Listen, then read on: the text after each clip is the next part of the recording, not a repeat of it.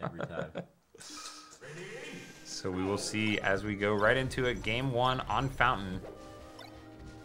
And uh, was game one on Fountain last week? I feel like it wasn't. I want to say it was on Battlefield or Yoshi's. Yeah, Battlefield seems like it would be the, the usual neutral start here, but Mhm. starting out to be this time. Yeah, and I assume that that was a, a change on SFAT's end, right? Because he did lose game one. Oh, wow. Barely gets that up B. Yeah. Nicely done from KoDoRiN. Um, but yeah, he did lose, obviously, games one and two last time and had to make that reverse 3 0. So, kind of makes sense that SFAT wants to try something different. Yeah. Um, and I don't think this is too bad for the matchup. It's just that the platforms tend to hurt the more technical character, right? Since since they're uh, a little unpredictable and stuff like that. And Marth is usually not going to try to find himself on the platforms anyway. Right. Oh wow, SFAT with a little bit of a miscue there. Almost had too much time to think about that. Yeah, sometimes when you when you're in situations like that, you have so many different options that you kind of don't throw out anything Mhm. until until it's too late, and you're like, oh man, I, I this is definitely very wrong. Yeah. Too much time, oddly enough, can be a problem. Mm-hmm. This is why I almost would prefer if if Marth does do the high up B like that. I almost prefer hitting him before he touches the ground. Yeah, no 'cause- jump. Yeah, no jump at that point, and you have to think less about like which side he's gonna land on or whatever. Yeah. Ideally, yeah, that would be definitely good. Not letting not letting Marth do it. Mhm. Again, Yeah, same exact edge guard. just so ready for it. Anytime Fox just like dips low where you can get the up B, it feels like KoDoRiN always gets it. Yeah. Yeah, unless Fox goes super low, then Marth can almost always reach it. So it's a, a tough spot for Fox to be. Yeah, and then if you go super low, you give so much time to set up a different type of edge guard for the Yeah. boss end. So sometimes just doing the quick thing is good. Ooh, Mhm. Ooh. the reset off the drill. That lower platform height on the right side actually made it a little bit harder for KoDoRiN to continue the, the combo. Oh, Yeah, true. Wow, that was kind of a reverse of the uh, earlier situation Yeah. where this time KoDoRiN couldn't pull the trigger fast enough. I guess just fell off. That, that was pretty much an SD. Yeah. Seen a few of those today. I think along with people looking really sharp, we're also seeing people look a, a bit nervous, you know, with these big tourneys coming up. It's certainly understandable. Yeah, definitely a lot of build up even from the players' end, right? Like if we're Mhm. talking the build up from the spectators' end, there's Mhm. definitely so much at play for players. Oh, Absolutely. Uh-oh. Wait for the spot dodge. Wait for the air dodge. spot. Okay. Does get double jump to ledge there, which he desperately needed, but again gets grabbed. Yeah, I mean KoDoRiN has been dashing back a lot, right, and just waiting for the defensive option. So SFAT's got to take a second before he goes for another aggressive attack. I like that little weight. Oh, and the shine, that might be it. Oh, it hasn't Okay. landed yet. That's what Chillin talked about. Yeah. Smart to Implement Chillin's ideas. Glad he was listening to my commentary. Good stuff, Zach. okay. Oh. Oh, SFAT in a scary spot now. And yeah, playing on the top platform there, I think is Uh-oh. reasonable, but yeah. Okay, no tipper. Oh, beautifully spaced, uh, replaced side B. Oh, and he gets this, the back air. Cleans up game one. So Yeah. we're definitely not going to need to see the double FD win from SFAT this time, but we are likely going to FD right now. Yeah, but maybe yeah, SFAT counterpicks. After if, if he loses here, you counterpicks him back. And Goes back to FD. I, I mean, it wouldn't be the first time. Let's put it that way.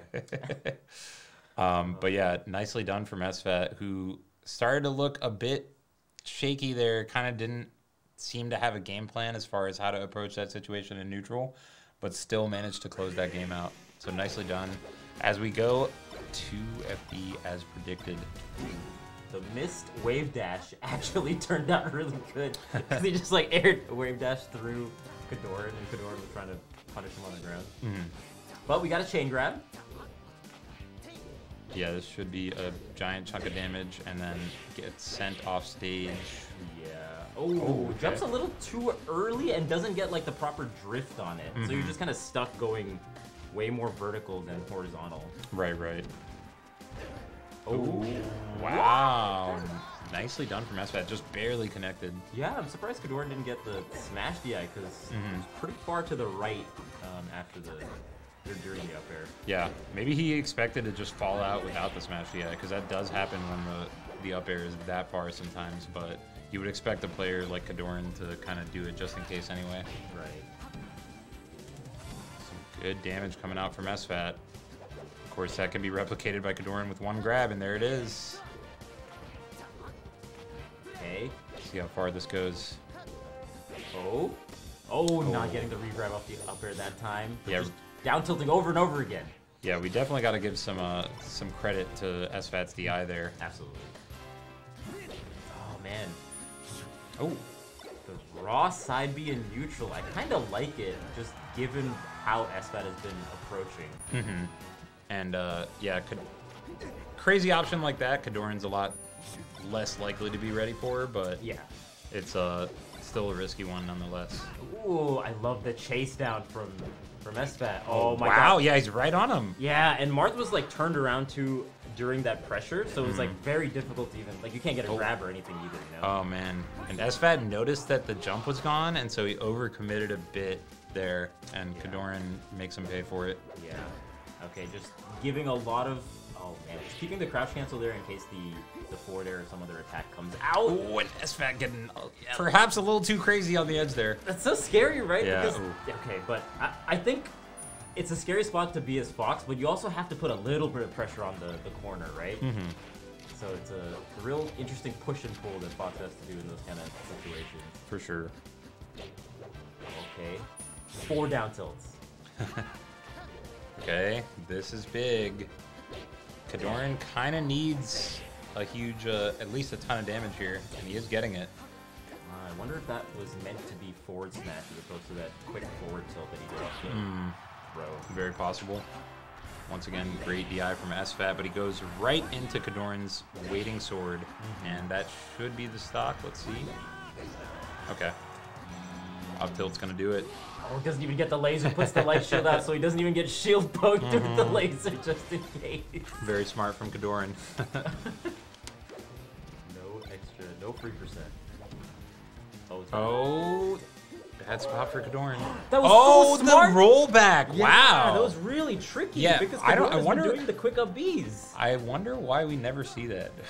because it has to be a hard call out on Yeah, the. I Oh, Oh, my- Just what? That was so quick. that was so fast. That's just not how I expected that game to end. We're just at in the middle of praising Zach. Oh, dude, that was such... what? Like, how... He he just got knocked off stage and was forced to up B under the stage. Yeah, and yeah, then yeah. KoDoRiN with the immediate recognition to go for that downer was very very good on his end because that was looking like a 2-0 lead for SFAT Yeah, and a very strong 2-0 lead, right? Winning on the on the counter pick like that. on the best counter pick that Marth's got. KoDoRiN's clutch. That that was really clutch. Like Yeah. you said, it's not that much timing. Not, I don't know. It was fast. It- you It was yeah, fast. he had to make that decision in a split second time frame and then also not mess it up. Like Yeah. That was really good from KoDoRiN for sure. And now we got one to one, and we're going to Yoshi's. Really good, really a good stage for Fox in this matchup in the, the modern era. You Yeah. just rush down, hmm. mark a little bit better, just not as much space, so Right. there's just less room to dash back. There's just res- less room for some of the defensive play that Marth might like to do. Hmm. And he dies off the top very quickly. Yeah, yeah, and then and yeah, just the combo game is so big. Oh, that's so unfortunate. Randall is gonna assist KoDoRiN. Oh, But- and assist whoa. Yeah, he gives give it and then take it away. Randall. Randall's such a cheeky guy. oh my God, Randall is getting super involved in this stuff. Randall. Randall, what are you doing, bro? Oh, Thundercats. Oh my god. I don't know why I wasn't expecting that. I, I just really thought like. up tilt or Just, just to see the raw up smash like Yeah. that is, is pretty rare these days. Yeah. But uh, nicely done from KoDoRiN. Oh, man. Oh my god. Okay. That's fat with the quick side B. Smart. Nice shine grab as well. Okay. Some nice little damage here. Uh-oh. That was really smart to just fall through like that and then do the up air when you're below Fox. Oh, and SFAT with the SD. And yeah, because uh, KoDoRiN fell through there, you almost visibly saw that SFAT was like confused by the Yeah. situation. He just didn't know what to do. Yeah. Oh, wow. that barely, it, the bear Ah, barely. barely connected, and then the up smash barely connected as well. That was uh, really well done from SFAT, but he is still down a solid amount here on his own counter pick. Oh no. Man, what a swing the end of that game two was. Yeah. Because now this is looking like a 2-1 KoDoRiN lead potentially. Oh man, this shy guy's kind of messing up the timing a little bit. That's a great shine. Can you get the edge guard? Wow! that's just yeah, it. he took the jump apparently. Mm. So that's big right now. Randall almost threw off SFAT 2 again, right? Because he kind of landed on Randall and then had to jump off of that. Oh, out of shield. Too far away for China to shield that time. Playing on the top platform. Ooh. Wow. What's going on, dude? You're getting the shine. Okay. Oh my goodness. That's fat. Okay. Oh, yeah. Wow, that was a great wave shine, but now he's off stage and Oh, he's KoDoRiN.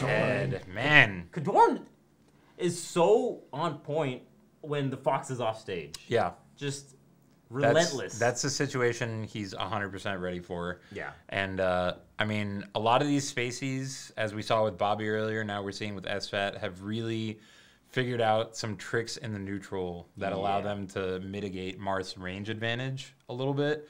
But when it comes to the edge guarding, there's there's not too much you can figure out. yeah, there's no sliding off. There's no, Yeah. there's nothing.